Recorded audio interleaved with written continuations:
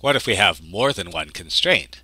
It's important to recognize that constraints are actually inequalities. For example, to maximize the area enclosed by 240 feet of fencing, you could consider areas using less fencing.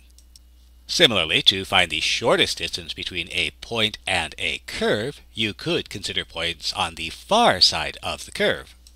But with just one constraint, there's usually no reason to worry about inequalities.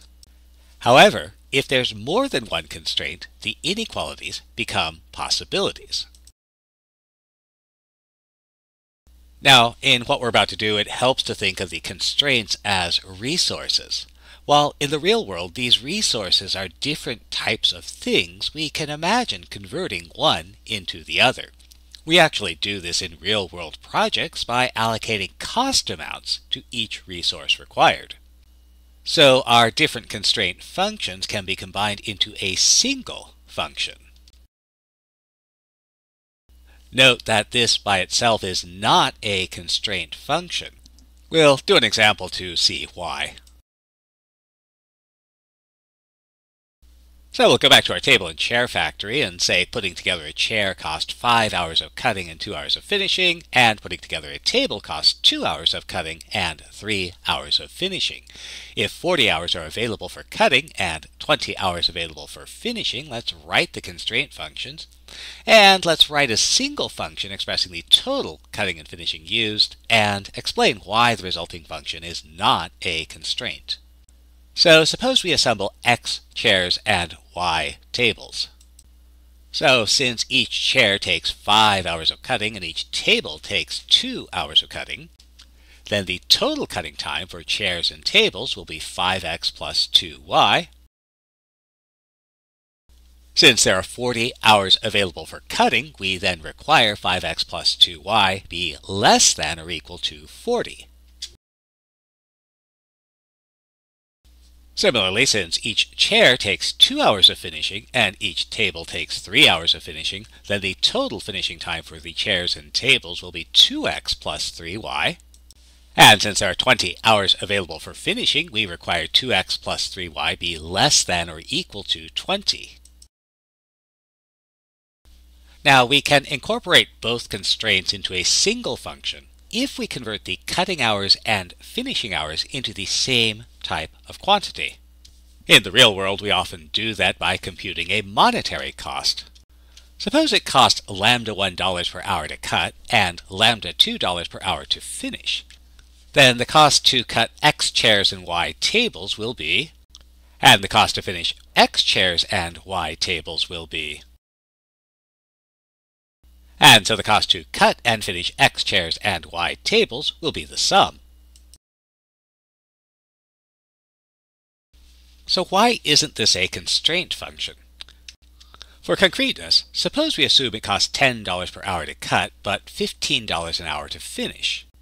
Now imagine we've used all available cutting time, 40 hours, but only 10 hours of finishing. Our cost will be $550. But if we decrease the amount of finishing time, we could increase the cutting time and maintain the same cost, for example, if our finishing time went down to 8 hours, we could increase cutting time to 43 and still spend the same amount of money. But this requires more cutting time than we actually have. And so the reason this is not a constraint is because the same dollar amount might correspond to feasible and infeasible values of x and y. Now, while this new function f is not a constraint, it does share some of the properties of a constraint, and those emerge as follows. Suppose we've optimized L. Then the resources used correspond to a value of f, and again there's a corresponding level curve, and as before, if L is not cotangent, then higher or lower values of L will correspond to the same value of f and the same use of resources. So by exactly the same argument that gave us the Lagrangian in the first place, the optimal values of L will occur when the gradient of L is a scalar multiple of the gradient of f. And here we can introduce one useful simplification, since the effect of multiplying the gradient of f by lambda would be multiplying each lambda i by some constant. We can just use the equality of the gradients and let the coefficients lambda 1 through lambda n incorporate this scalar multiple lambda. And this leads us to the following strategy. Suppose we want to optimize L subject to some set of constraints. An optimal value will occur at a solution to the gradient of L equal the sum of Lagrange multiples of the gradients of the individual constraint functions. Now, generally speaking, these equations are too hard to be solved by hand, so we'll focus on setting up the system of equations that we need to solve. So, for example, let's set up the system of equations needed to find the minimum distance between the origin and the curve formed by the intersection of two surfaces. You might recognize that this surface is a cone and this surface is a plane, so we actually have, very literally, a conic section. Since we have to be on the surface z squared equals x squared plus y squared, and also on the plane 2x plus 3y minus 4z equals 12, these are both our constraints. So we want to rewrite our constraints as functions, and so we'll get all the variables on one side, And so one constraint is f of xyz equals 0, where f of xyz is x squared plus y squared minus z squared. Our other surface, all of our variables are already on one side, and since we're differentiating, an added or subtracted constant can be ignored.